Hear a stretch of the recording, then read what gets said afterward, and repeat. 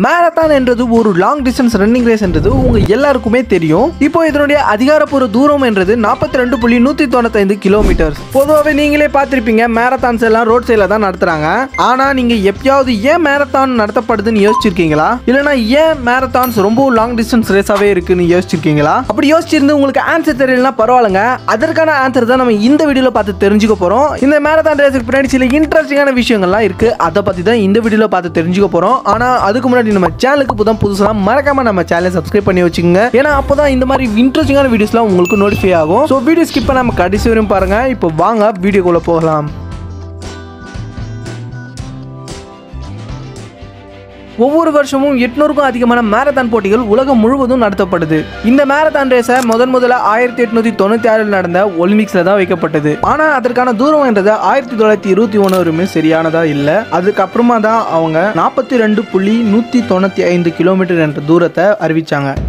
Marathon உருவானதுக்கு மிக முக்கியமானவர் யாருன்னு பார்த்தீங்கன்னா பிலிபைட்ஸ் என்றவர் தான் இவர் யாருன்னா அந்த காலங்களில் அரசர்கள் ஒரு ராஜ்யத்திலிருந்து இன்னொரு ராஜ்யத்திற்கு தூது அனுப்புவதற்கு மெசஞ்சர்ஸ் அதாவது தூது அனுப்புபவர்கள் இருப்பாங்க. அந்த ஒரு வேலையை தான் இதை பிலிபைட்ஸ் என்றவர் செஞ்சுட்டு இருந்தாரு. இவங்க வேலையே அவங்க சொல்ற மெசேஜை எந்த சவால்கள் பிரச்சனைகள் ஆபத்துகள் வந்தாலும் அதை கடந்து சரியான இடத்துலையும் சரியான நேரத்திலையும் கொண்டு போய் சேர்க்க வேண்டிய இடத்துல சேர்க்கணும். அந்த ஒரு வேலையை தான் இந்த பிலிபைட்ஸ் என்றவர் செஞ்சுட்டு இருந்தாரு. கிமு நானூத்தி தொண்ணூறு ஆகஸ்ட்ல நடந்த மேரத்தான் போர்ல கிரீக்கிற்கும் பெர்ஷியாவுக்கும் போர் நடந்தது. அதுல கிரேக்கர்கள் வெற்றி பெற்று பெர்ஷியர்கள் தோற்கடிக்கப்பட்டாங்கன்னு அறிவிக்க மேரத்தான் போர்க்காலத்திலிருந்து கிரீக்கில் உள்ள ஏதென்ஸுக்கு அவர் அனுப்பப்படுறாரு. அந்த ஒரு தூரத்தை முழுவதையுமே நிக்காம ஓடி சென்று போர்க்களத்தில் வெற்றி பெற்றோம் மகிழ்ச்சியான செய்தியை நாட்டுக்கு சொல்லிட்டு அவர் அந்த இடத்துல இறந்து போகிறார். இந்த ஒரு நிகழ்ச்சியான நிகழ்வு பல வரலாற்று புத்தகங்கள்ல இடம்பெற்றிருக்கு.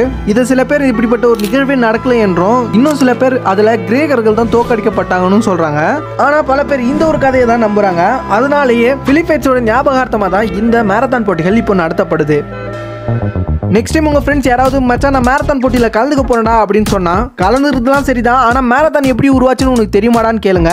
எனக்கு தெரியாதடான்னு சொன்னால் அப்போ இந்த வீடியோவை ஷேர் பண்ணுங்க. ஏன்னா இந்த ஒரு ஹிஸ்ட்ரியை தெரிஞ்சுக்கிட்டா அவர் அந்த ஒரு ரேஸில் வின் பண்ணவும் வாய்ப்பு இருக்கும். ஓகே கைஸ் இந்த வீடியோ பிடிச்சிருந்தா மறக்காம இந்த வீடியோக்கு ஒரு லைக் கொடுத்துட்டு நம்ம சேனலுக்கு இப்போ தான் புதுசாக வரீங்கன்னா மறக்காம நம்ம சேனலை சப்ஸ்கிரைப் பண்ணி வச்சுக்கோங்க. ஏன்னா இதே மாதிரி இன்ட்ரெஸ்டிங்கான வீடியோஸ்லாம் வரும் அதையும் பார்த்து என்ஜாய் பண்ணிக்கோங்க. ஓகே கைஸ் இன்னொரு இன்ட்ரெஸ்டிங்கான வீடியோ சந்திக்கிறேன். அன்சில் தன் ஃப்ராங்கி தமிழா